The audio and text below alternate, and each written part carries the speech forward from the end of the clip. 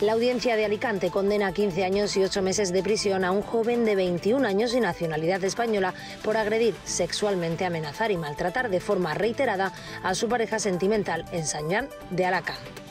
Los hechos enjuiciados tuvieron lugar entre 2019 y 2021 a lo largo de los dos años de relación sentimental, cuando él contaba con 18 años y ella con 16.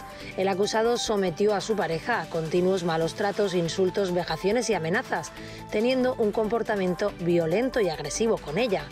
Estas agresiones también fueron de tipo sexual, hasta el punto de obligarla con el uso de la violencia a practicarle felaciones o a mantener relaciones sexuales pese a su negativa.